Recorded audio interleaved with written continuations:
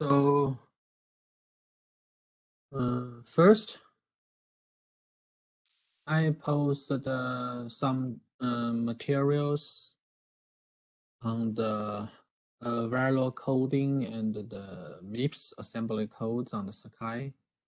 So if you don't have the, the prior experience the hardware design or the assembly code, so you can take a look at those the materials and uh, learn by yourself. If you have any questions, so you're welcome to reach me. Mm.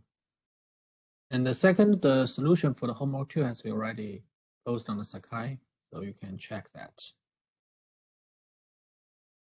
And as I mentioned, for the homework three, there will be in the November, so I will let you know when I post it. Also for the online quiz two, there will be a probably on the in the November, late November. So any questions for the homework and quiz?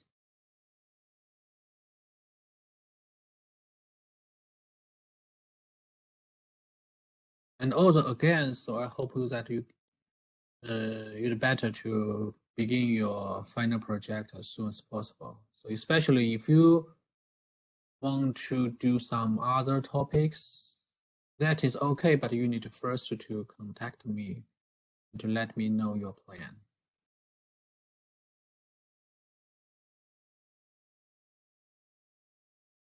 So any questions?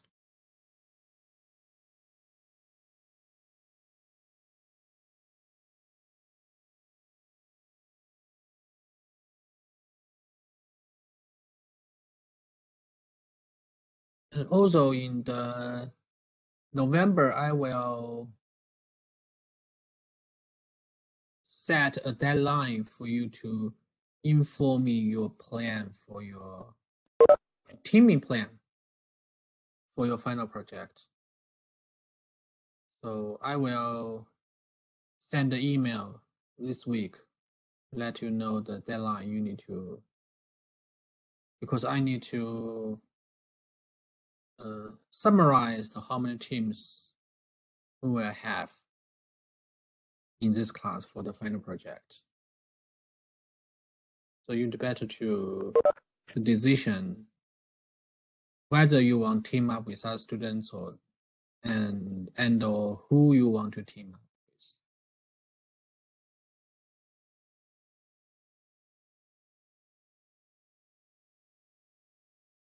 I also hope that this can motivate you begin to think about what you want to do for your final project. Any questions?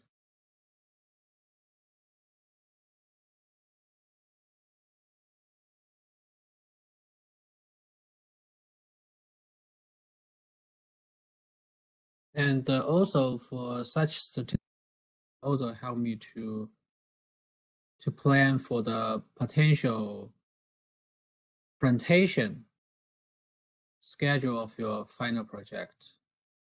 So the schedule depends on two factors. First is the number of the teams, and second it depends on the progress of, of our lectures. So as I mentioned before, so the uh, part three of this course is about the domain specific AI hardware architecture. So, so this is a very broad topic, and uh, actually, uh, if you want, so actually we can use the one or two semester course to cover this. So, uh, let's see. So, how about our progress in the phase one, uh, part one and part two? And if necessary, so uh, I may use the, the two two classes previously for the final project presentation to also to be used for the hardware accelerator architecture for the AI. So that is an option. The I'm not determined yet. I also need to know the how many how many teams that we will have for the final project. And uh, so that means there's one possibility that so we will skip the presentation of the, final project. And uh, in that case, you will directly send me your final report.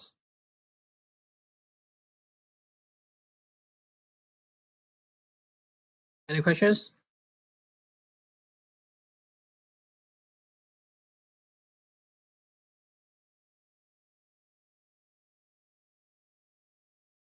By the way, so how about your current uh, status of your final project? So how many of you already formed the team?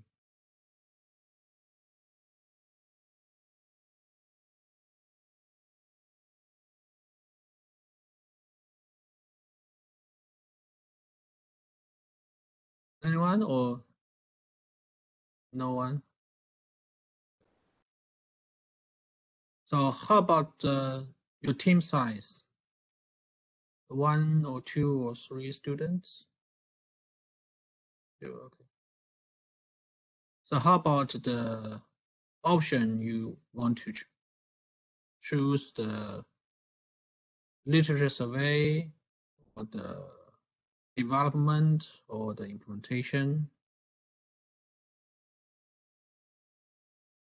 Yes, if you want, you can just work by yourself. That's fine.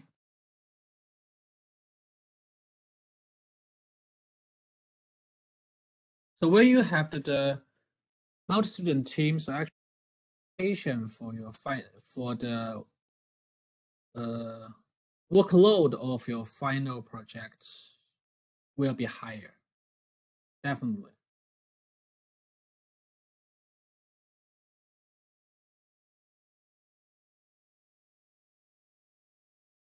So right now, what type of the, the final project you plan to go for?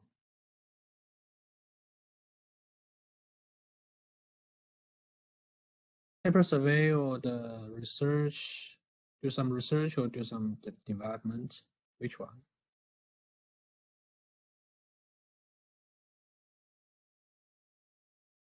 Okay. Okay.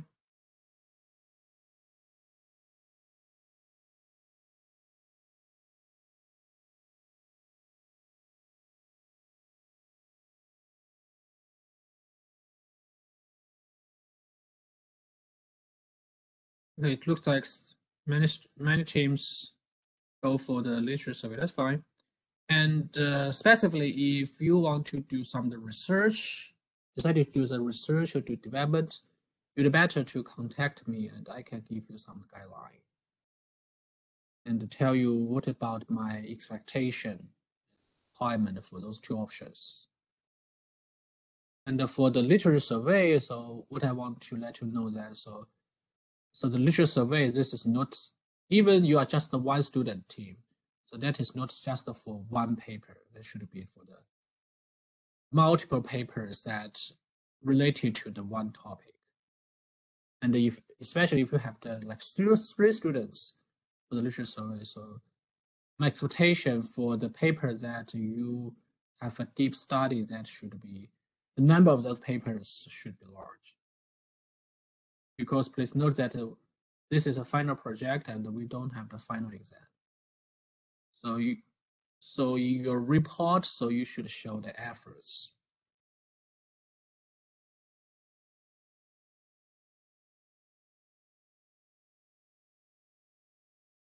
So here I, I don't have a kind of the fixed number of the papers you should uh, review the survey because for a standard literature survey paper, so actually uh, you can go to the arXiv to see that. So for example, a literature survey for the AI hardware, that typically that will contains many, many, the reference list, it contains more than 100, even 200 papers. So here, what you are you will do is kind of the, the mini survey, eh? not too many, but still you should show some the your efforts there. So you can pick some the subfield. For example, you can do some the interest survey like for the sparse convolution network or something like the low bit network hardware, something like that. So it's kind of the subfield and uh, you should uh, read several papers that have that represent the general idea, represent the kind of the, the milestone in the development of this field and represent the state of arts, different categories of the approaches and so on.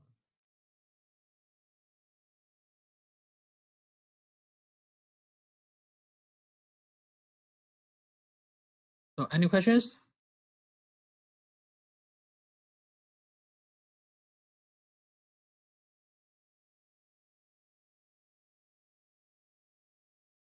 Okay, so no more questions. Let's continue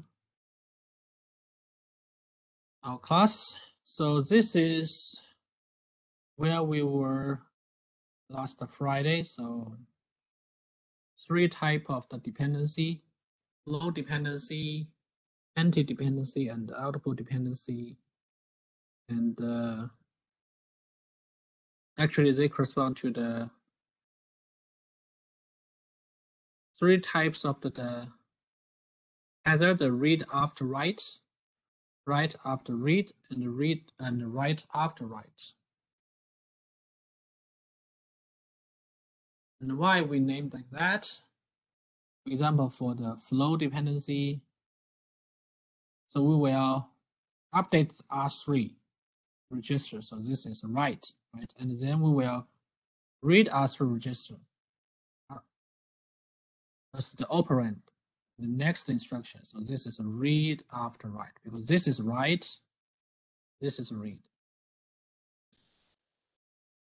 And for the write after read, so we will use the R1 in the pre in the previous instructions for the but just read this value, and then we will update to write R1. That's write after read. And what after write after, uh, sorry, write after write. So in this example, in the first and the third instructions, R3 will be write. Two different instructions. So this is write after write. Output dependency.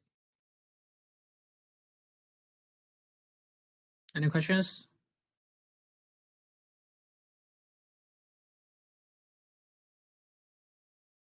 Okay, so then so for the read up. Yeah, uh, it's nine twenty. Yep. Go ahead. Hello? Can you repeat your question again? Sorry, Professor. No, okay. So for the flow dependency for this read after write, so actually it's the true data dependency.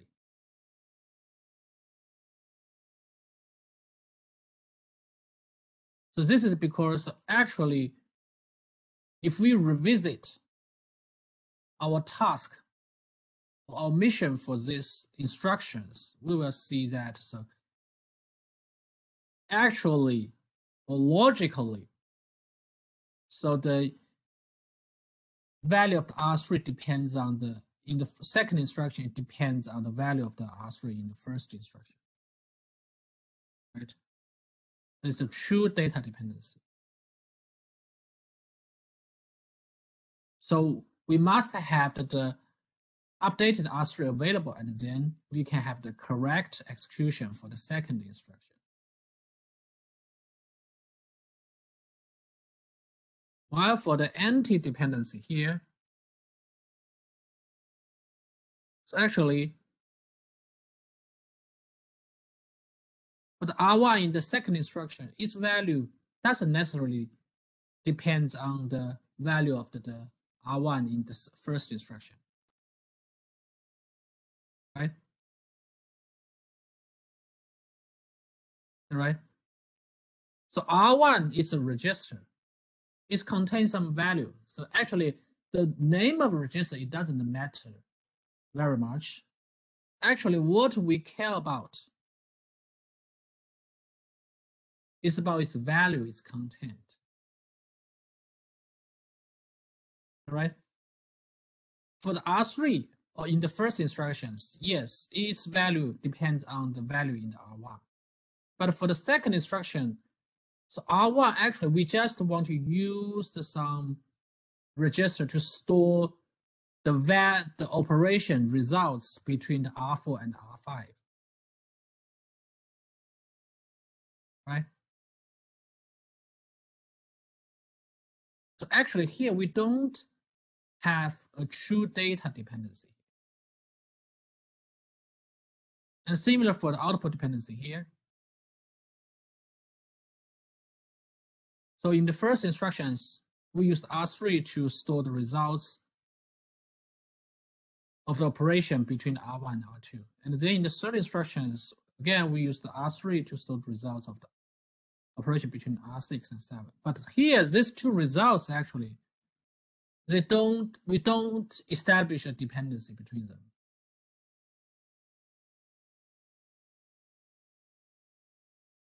Is that right? So essentially, actually, it's a kind of the name dependency, not a data dependency.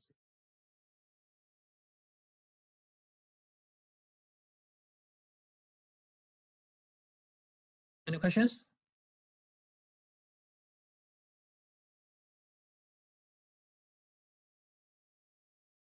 Okay, later we will see that how should we solve these two, this different type of dependency.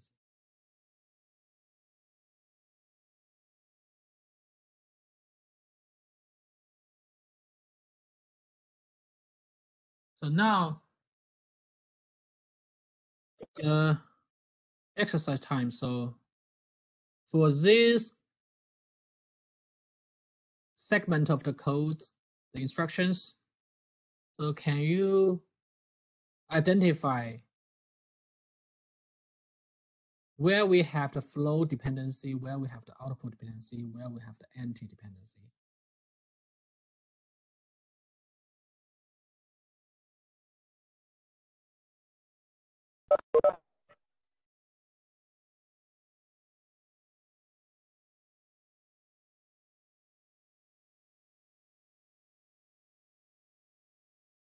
Okay, I can rough, uh, I can briefly explain the meaning of each instructions. For the first one, actually, we perform the division between the F2 and F4. The results is updated to the F0.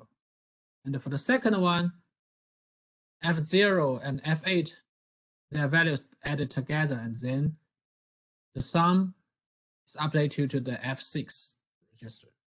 And for the third one, this is the this is the store instruction. So that means that so we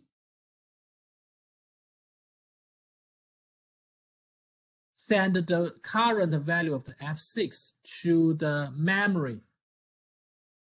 And each each address is identified is identified by the X1's value and offset zero. This is safe this sorry, this is the store. And for the fourth instructions, actually we subtract F14 from the F10 and then the results is updated to the F8. And finally, the fifth instruction, so we must the result of F10 and F8 and the results come to the 6. So here is the, the function of each instruction. So now tell me whether we have the flow dependency, whether we have the output dependency, whether we have anti-dependency. If so, so where are they? Notice that you may we may have the, the multiple flow dependency, and the multiple output dependency, and the multiple anti-dependency. But now practice on that.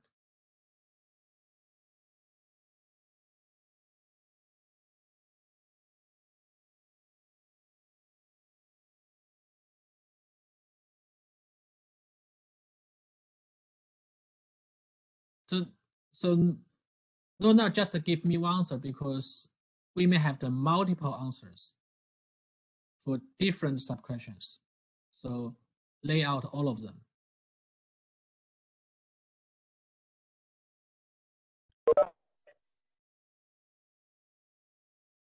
And also notice that when we talk about dependency, actually, it should be connected to the, it's involved with the two instructions? You should tell me, so there exists, for example, there exists a flow dependency between which two instructions?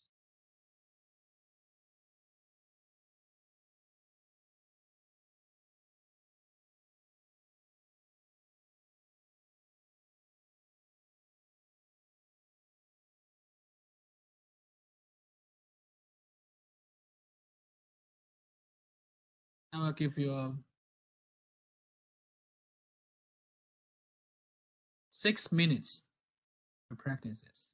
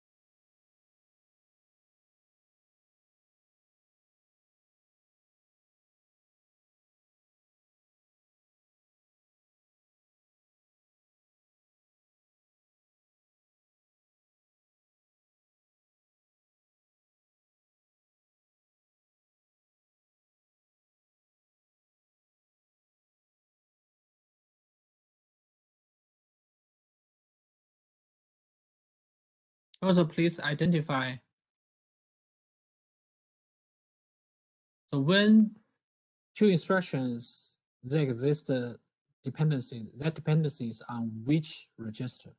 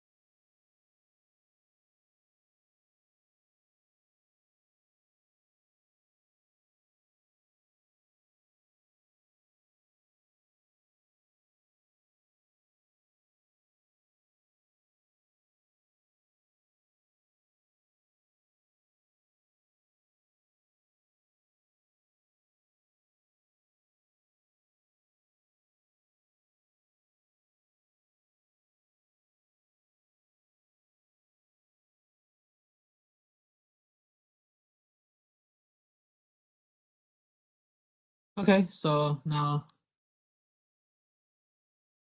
let's take a look at that. So first, flow dependency. There exist three flow dependency here. So first one is first instruction and the second one, right? For the register F0, right? F0 at in the first instruction, it will be updated and then the result, the updated result will be used in the second instruction, right? Read after write, Right? And we also have another flow dependency between the fourth and the fifth instructions for the register F8, right?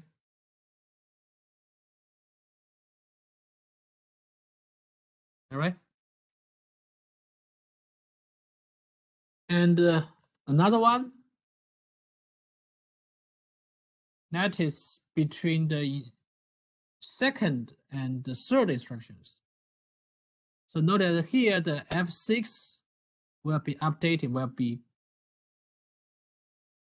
written in the second instructions. And this new results will be then in the third instructions. Notice that because this is store, that means that we need to transfer the value in the register to the memory, right? So this is write, this is read. Another write, read after write. All right? So three flow dependency here. Any questions?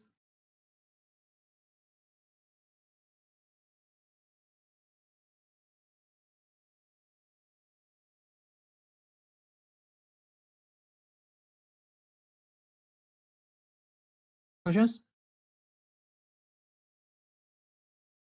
Then output dependency. Output, output dependency is write after write, right? So here we have one output dependency between the second and the fifth instructions for the register F6. In the second instructions, F6 will be updated, right? And in the fifth instruction, F6 will also be updated.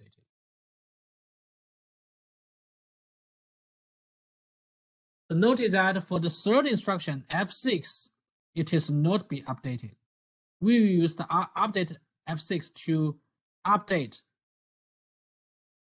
one content in the memory. However, if we change this F, this store ins instruction, and we change it like to the load,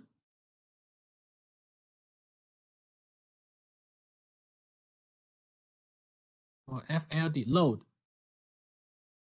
Because, because for the store,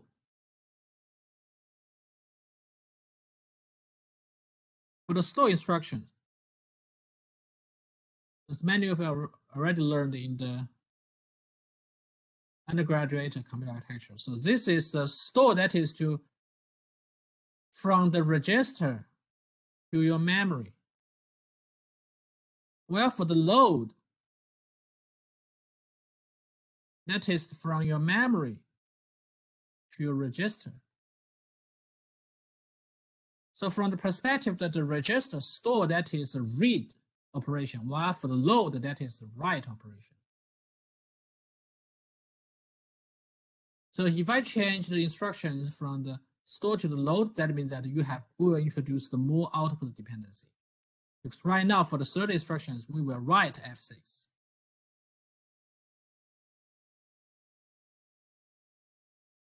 Is that clear?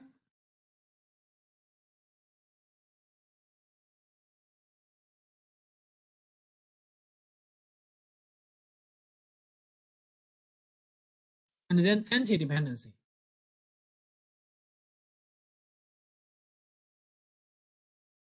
So here we have the two anti-dependency. First is between second and the fourth instruction on the register F8.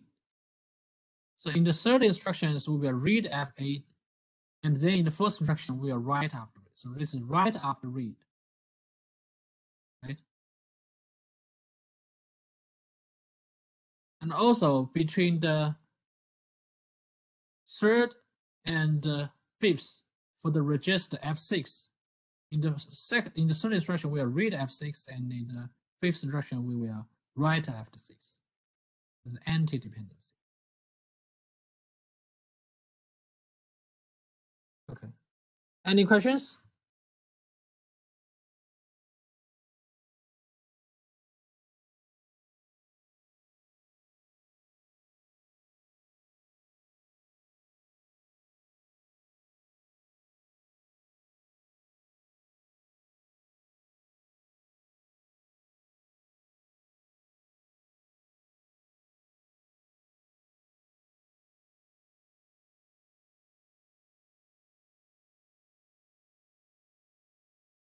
No questions? I hope, I hope, uh, can you explain the, can you explain the second, you mean the second anti-dependency in this, in this slide or the previous slide? Okay, so the second anti-dependency here, right?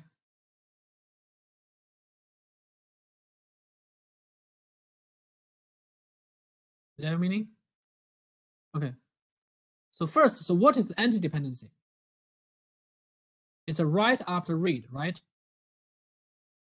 So for the previous instructions, so we will, for that target register, we will read that, and then for the following instructions, we will write that register. That is anti-dependency. Right? Okay. So now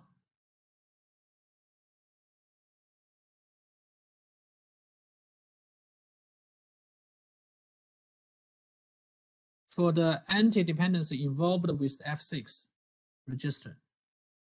So here we claim that there exists anti-dependency between the third FSD and FML, FMUL instruction, the third and the fifth. So why? So for the third instruction, this is a store operation. Store means that we send the value of register F6 to the memory. When memory, notice that here this actually it represents a memory address. X1 is a register as well. And uh, here 0x1 means that we have a we will use the information contained in the X1, that is address. This is the so-called uh, base address. Base address. And the zero here it is the offset value. The zero can be changed depends on what you want. It can be four, be eight, be 12, but typically that is the multi of the multiple of the four. So if you took the undergraduate undergraduate computer architecture, you know that is we need to make sure the memory alignment. Okay, so essentially, so here this actually rep it represent one address in your memory. In your memory. And this instruction, it means that we will send the value of the F6 to one memory entry. And that memory entry, its address is defined by this, can be calculated by this.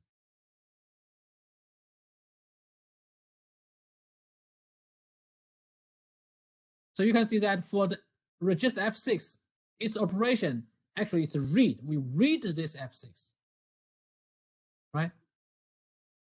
And we will write to one memory entry. while for the fifth instructions, the F6, it will be updated. Our operation to F6 is the write. So this is a write after read. So it's an anti-dependency.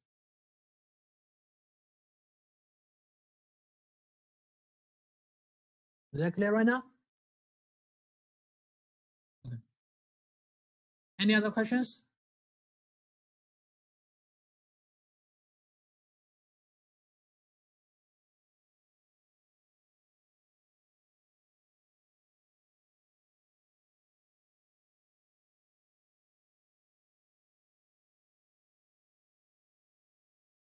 Questions? Okay, so let's continue.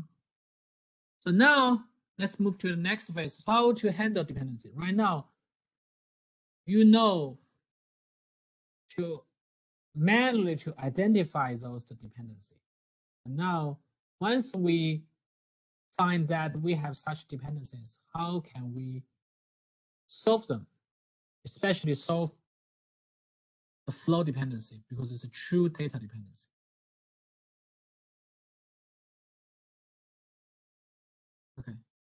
First, flow dependency. So generally speaking, we have the three types of flow dependency. The mitigation method. First is detect that and then for using the so-called forward bypass strategy. It's a very common used one. And the second is to wait. Is kind. The second is very straightforward. Once we find that, we just wait. We store the entire pipeline until just the value right now is available in the register. And third is we can predict and then we guess what we want and then to execute and then finally verify, go back to verify. So let's first to take a look at bypass the forwarding.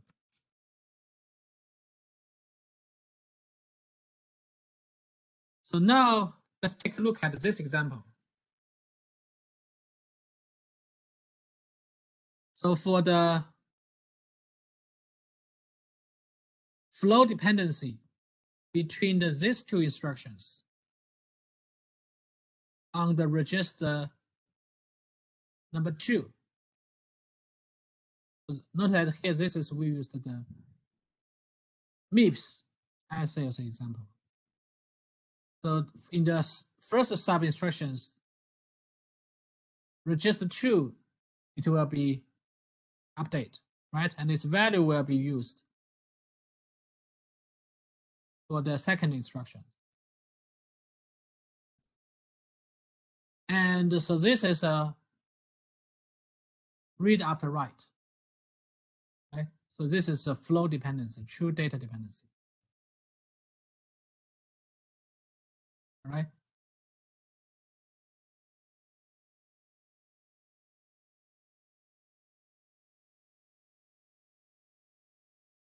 So now let's take a look at that. So notice that our, our essential goal for the second instruction, actually, we want to have the, the correct value in the register two, right? So let's see what's when such value come out. So if, if we observe the pipeline diagram, what we can find that? So for the new value of the number register number two actually, so after the third stage, the third cycle, the EXE stage, the result already be available. right? But uh, this value, when it is, when it is avail available at the end of the cycle three, actually it has not been officially stored back in the register file, right? Officially, it will have that at that is at the end of the cycle five, but at the end of the cycle three, it already be there. It already exists in your data path. Is that right? And meanwhile, for your second instruction, when you need the new value of the register number two, when you need that, you can find that actually you need that at the beginning of the clock cycle four. Is that right? So actually, when we at the beginning of clock cycle four, so we the new value, the, the desired value of the register number two is already there, right? Already exists somewhere in your data path. And as long that we can get that, so we can continually to execute the second instruction.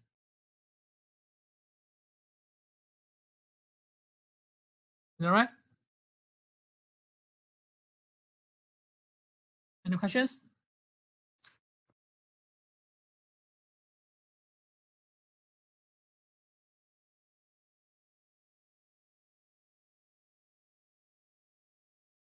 Or do you need me to re-explain again?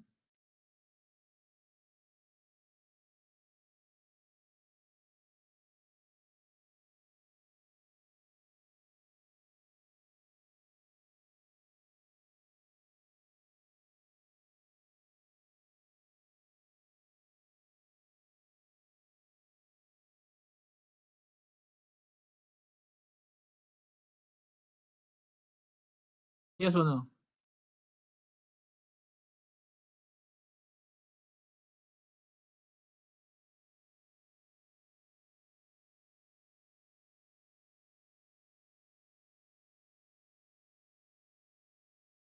For the uh, some students ask for the register number two, they should be continuous.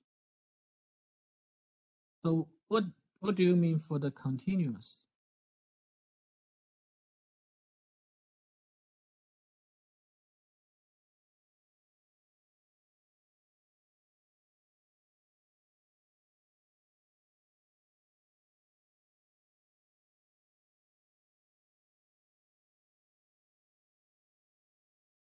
Like we have in flow, read after write. Okay, so now let me re- re-explain. I know some of you already learned that in, in undergrad, undergraduate computer arc, but some of you never learned that before. Okay, let me repeat again. So first, here's what we have. We have the five instructions from a program, a mini program. And now based on what you have just learned for the data dependency, we know that so there exists the flow dependency between the instruction one and two, right? The sub and add, and and actually we also have another flow dependency still on the register two between the one between the first and the third instruction. Is that right? Okay, so here that's the dependency. And why it matters because so if we use the naive way, so the register number two, the register two will have its new values at the end of the clock cycle five. But for the third instruction, sorry, for the second instruction, we need net new value at the beginning of the clock cycle four, right? And for the third instructions, we need that new value of the register two at the beginning of the clock cycle five. But here from this diagram, we know that the new value of the register number two, it will be only available at the end of the clock cycle five. That means that when we want to execute the second and third instructions, we don't have the data available. That is a problem.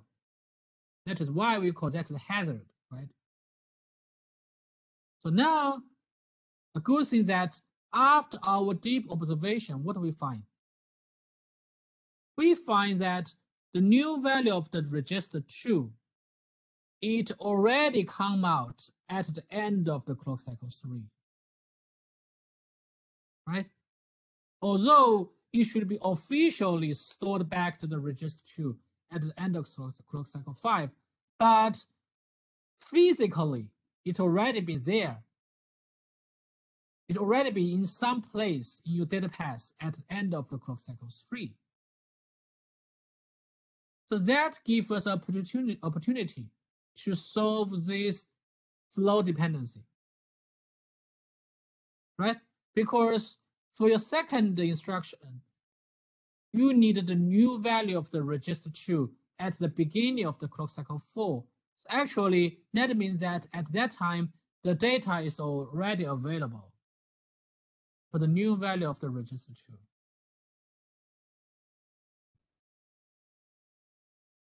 Is that right? So as long as you can find a method to identify that value, because right now that value is not stored in the register number two. It's stored some someplace, some other places. As soon as you can find that, and then you can directly input that value to your exe stage of the instruction two. And similar to the third instruction. Is that clear now?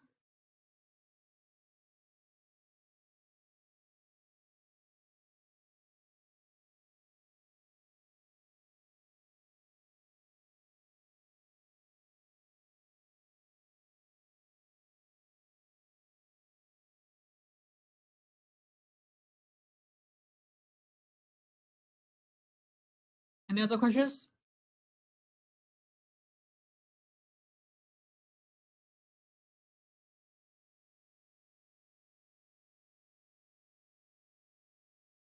Okay.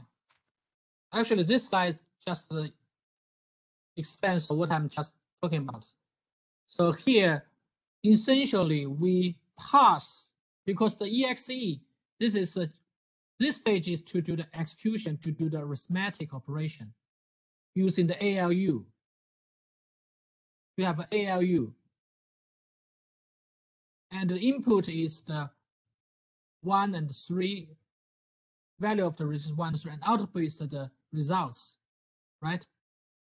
It's the results at the clock cycle five will officially read back, written back to the register two. But the ALU output at the end of clock cycle three already have that results. That means that we can directly send this output of ALU to the in the clock cycle four for the use of the end operation. Result goes through in the register file. So that is why we call this so-called bypass.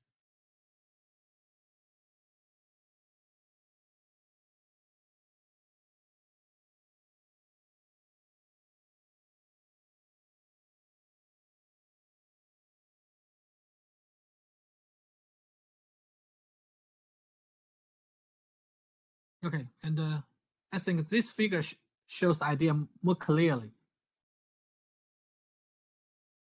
Conventionally, you have the results in the clock at the end of clock cycle three, but you will need to continue to go through two following cycles, and then at the end of clock cycle five, your register two will have the new results. But we cannot wait so late for the second and the third instructions. So that means that notice that we have the pipeline register between the each two different stages. So the, the output of ALU, the subtraction, the difference between the one register one to three, at the end of the clock cycle three will be already stored in this pipeline register. So that means at the beginning of the clock cycle four, we can directly find that value from the pipeline register and then send it to the ALU as it's another input. So we directly forward with this results to the ALU. We can say we bypass the register file operation.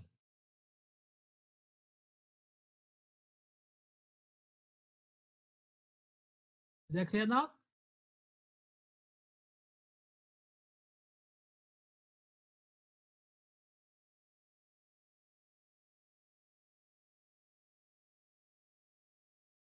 And similar regarding the flow dependence between the first and the third instruction, again on the register two, at the you can do the similar thing.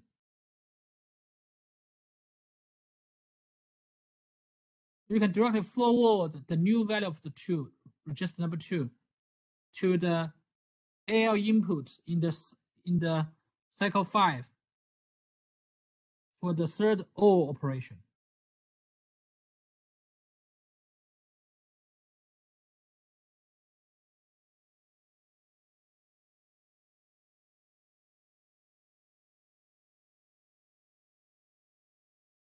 Any questions?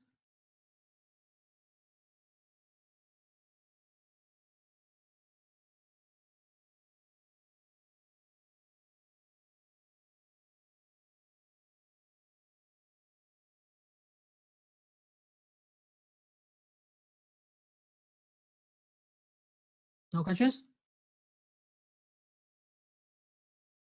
Okay. And then, so some more details. Actually, this is useful. For example, if you want to like to implement the mechanism of the handling the data hazard. So, actually, this is related to the more details. So, how can we identify whether we have such the flow dependency or not? Note that here, what I mean that the identify is not just to manually identify. That means that if we want to write some codes, if you want to implement like in, using the C or use the Verilog to do that, for example, if you want to build a simple CPU state path, so you must provide the mechanism of to detect data hazard and to solve the data hazard. Those the dependency. Okay. And here is what. So recall that. So what is the condition when we determine here we have the flow dependency?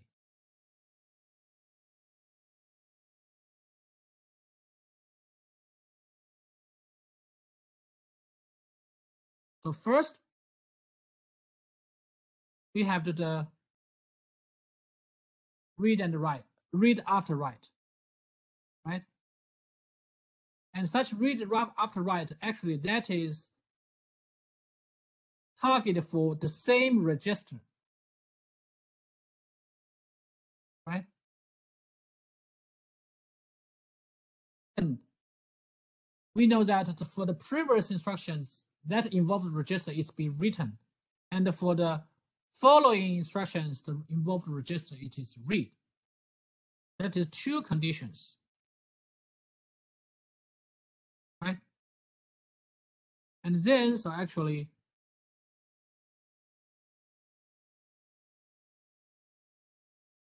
we can establish to determine mechanism for that. Notice that this is involved with the implementation. Involved with implementation. So I don't want to uh, specify too much details, too many details.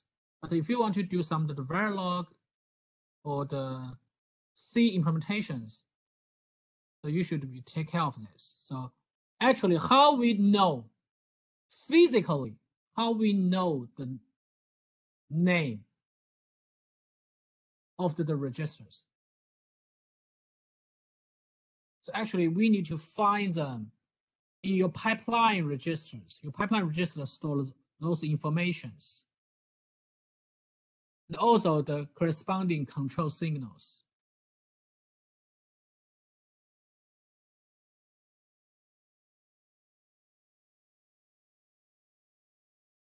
And notice that, so this is the pipeline registers IDEX. And this is the pipeline registers EX MEM.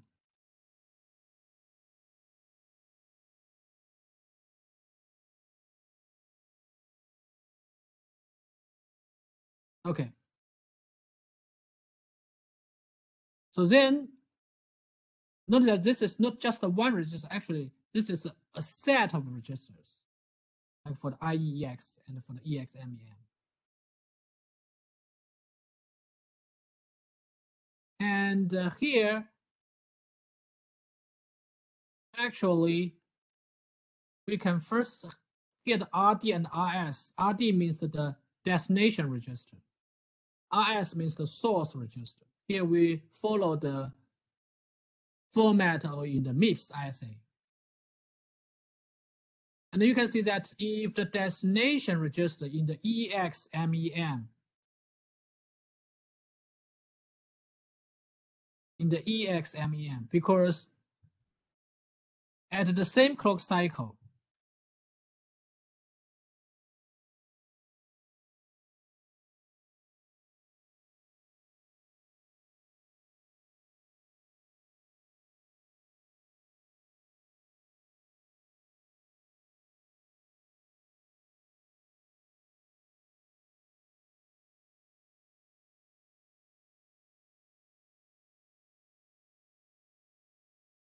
at the same clock cycle. So here the EXMEM register sets. Actually, at that moment, it it store its destination register is two, number two. While for the IDEX, its source, one source register is number two. So using this way, we can match the name here.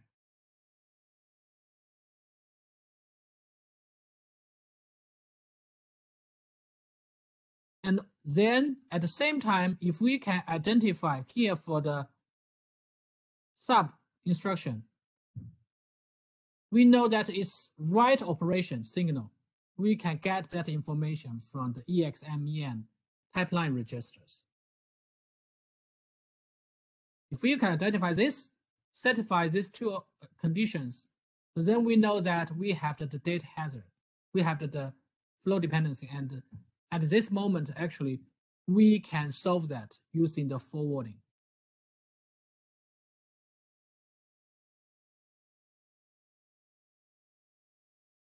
And a similar, maybe you have another instructions, like uh, another register name here, have the dependency. So because for the like for the end instruction, we have the two operands. In that case, you need to find out whether this another one is RT. RT is also the resource, the source name.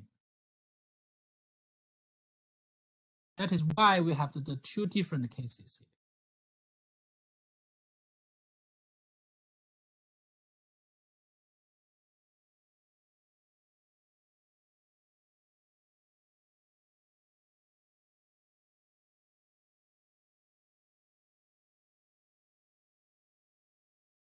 Any questions?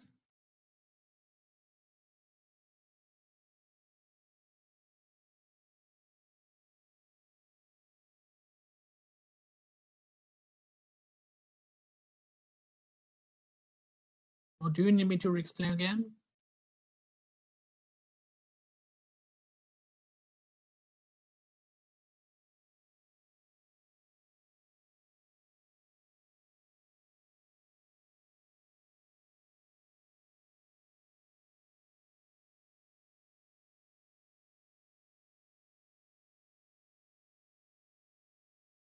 Okay.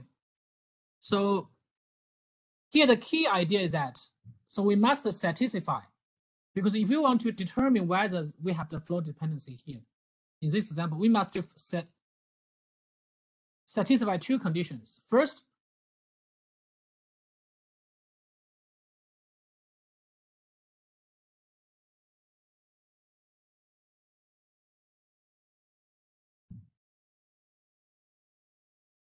first is that, so your destination, the register you want to write in the previous instructions, that is exactly the register you want to read in the second instruction, right?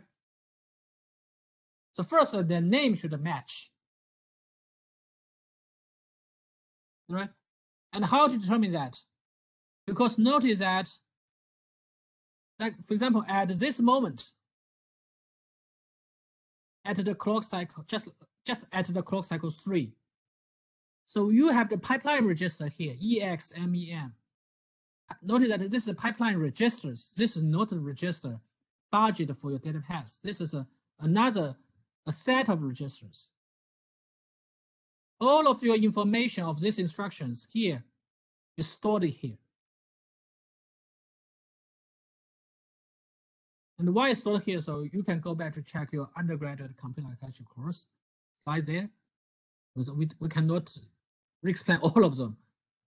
So the register information, like the register three, register one, register two, their name is there. And we know that it is the RD.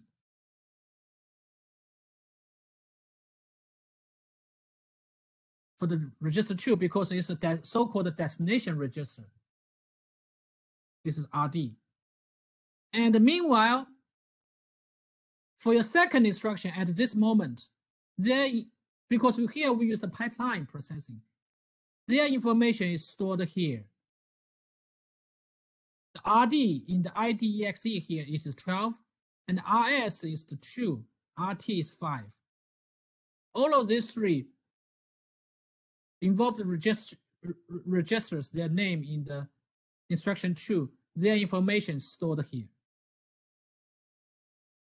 Okay, and then you can check these two different pipeline registers to fetch their RD and RS and to compare whether they are same or not. If it's same, that means that yes, for the second instructions, you have one registers. It's source register, and for your first instructions, you have the, destination register. Their name matches. And then we can check the first instruction, first conditions. And also notice that we still need to satisfy the second condition. That is your first instruction is your destination, your register, true, should be written. And how to determine that? Again, your pipeline register contain all of those information. It have a control signal. Let's know that this instruction it should be right, should be written. And then the second condition can check that. In that case, we know that we have the flow dependency, and this flow dependency can be solved by using the forwarding. And then we enable the forwarding signal.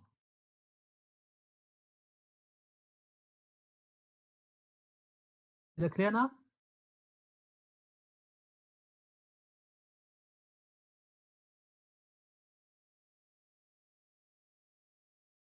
Other questions?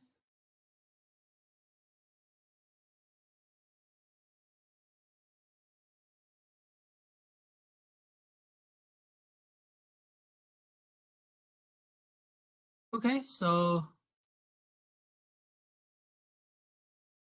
then uh, a little bit complicated case. Again, we still have the flow dependency. Notice here, in this example, we have the three consecutive instructions. And for the first instruction, register one will be updated. And then we will use the new value of the register one to further update itself.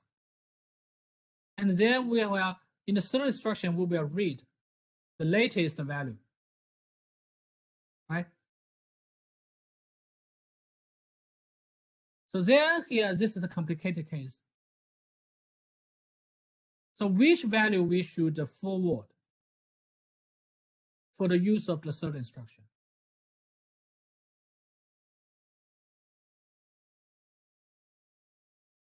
Obviously, we should forward the latest value, right? output by the second by the ALU in the second instruction instead of the, the ALU's output in the first instruction because that is not the latest value.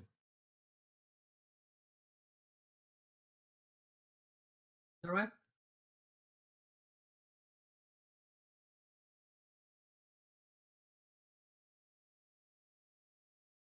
Any questions?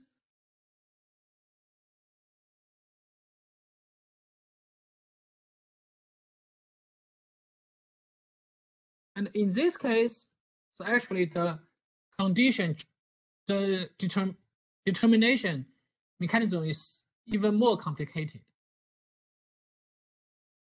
Because you need to consider about the three, the register name information of three instructions.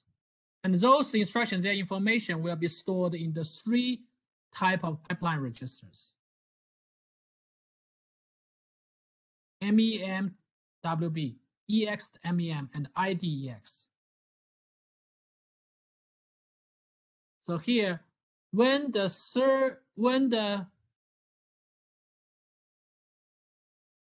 first instruction, we can know that it is, yes, we want to write that.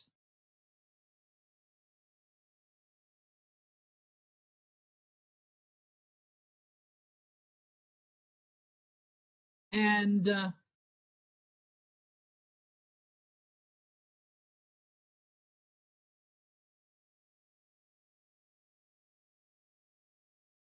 we know that. So the third the second and the third instructions they involve the register name that ma matches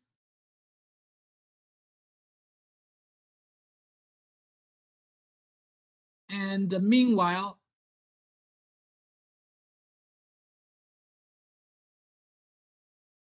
uh, hold on a moment. This is the ID. This is the EXE. This is the MEM. This is WB.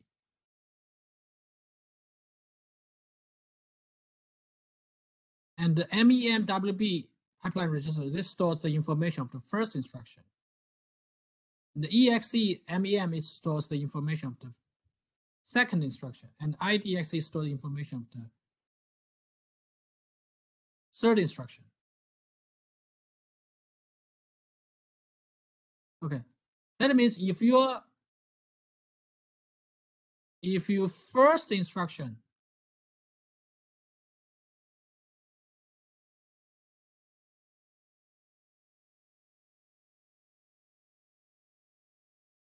we want to write that. And uh, your first and uh,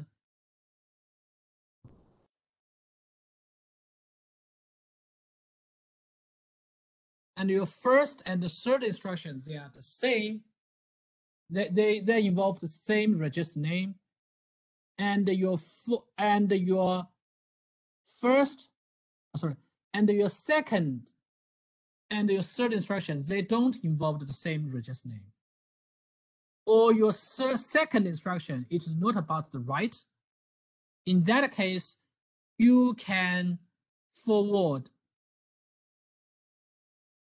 the value of the, the forward the output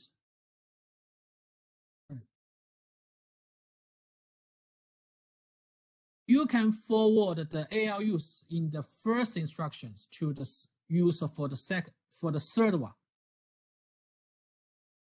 Okay, so this is a bit complicated. So here, this this mechanism actually it is to avoid this example. Because when you have such example, that means that it should be like this, right? You need want to do the forwarding between the two adjacent instructions. But if it's not such case, That means that, for example, here, you have data dependency between the third and the first instructions. And in that case, you should forward like this, right? But we should exclude the potential situation, just like this example shows. And how to exclude this one? Use these two mechanism.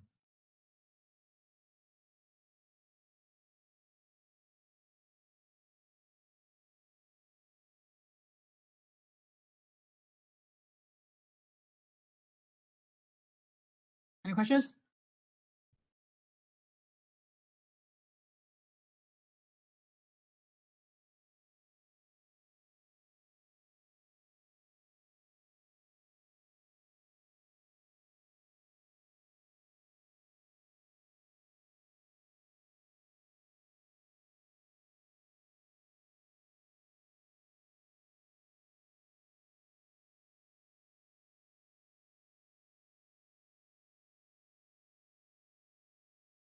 So here, I understand this is still a bit abstracted.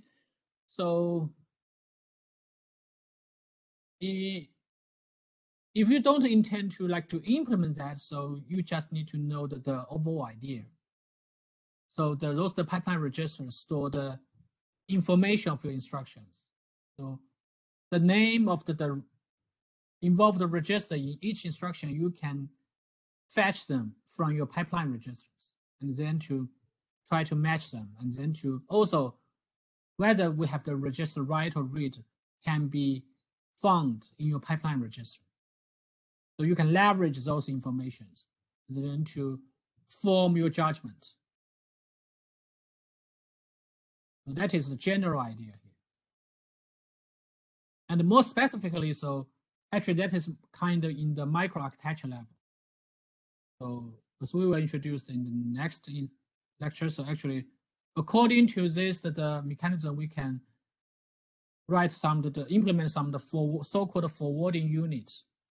Such forwarding unit, it will have the, those, the forwarding signal. And then to physically implement such forwarding operations. You can see that the information of those the pipeline registers, some of them we will connect them to the forwarding unit to help the forwarding unit to determine its decision.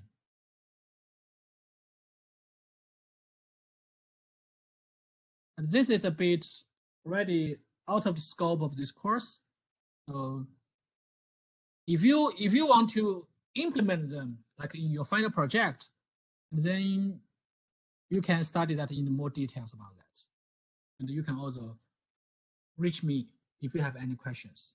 I just want to give you some the impression. So what is the, the high level idea and how to map them in your actual architecture or the circuit design.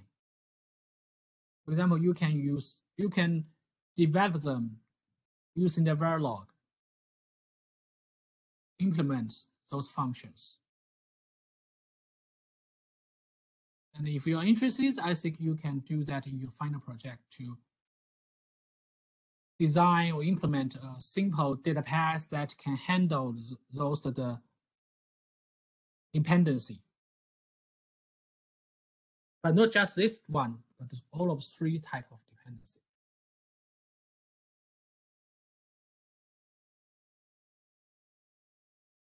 Okay, so any questions?